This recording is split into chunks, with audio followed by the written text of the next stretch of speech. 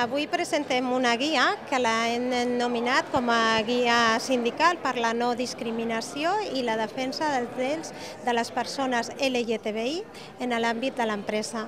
Nosaltres ja teníem una guia, que era del 2010, però hem, hem considerat que havíem de fer-ne una altra com una eina que necessitem totes les persones delegades, delegats i delegades de la nostra organització.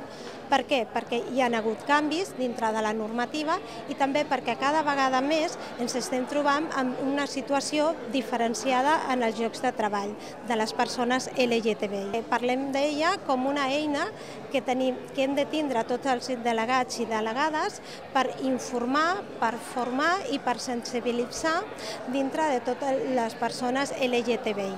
Què és el que fem amb aquesta guia? Amb aquesta guia fem una petita introducció fent tot el marc que tenim eh, legal en respecte a les persones LGTBI i després posem el que són exemples i bones pràctiques dintre de l'àmbit de la negociació col·lectiva, parlem de tots els temes i tots els processos que n'hi ha de discriminació i assetjament dintre del món del treball, fent també un glossari i un desglossament dels noms i, les, i, i els termes més utilitzats. Uh, avui dia, després de ja de cinc anys que portem com a grup LGTBI, la veritat és que, a pesar de que hi ha molta gent que pensa que hem avançat molt i que ho tenim tot, continuem sense trobar-nos amb la igualtat real.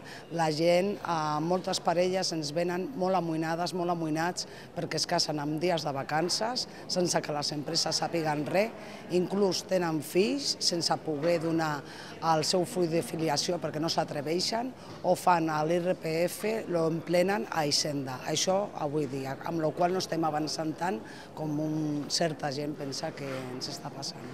Hi ha molta por, s'està acomiadant gent amb el tema retallades, encara la gent està més amoïnada i ens ha fet un, bastants passos enrere i això no avança, no avança tal com s'està venent.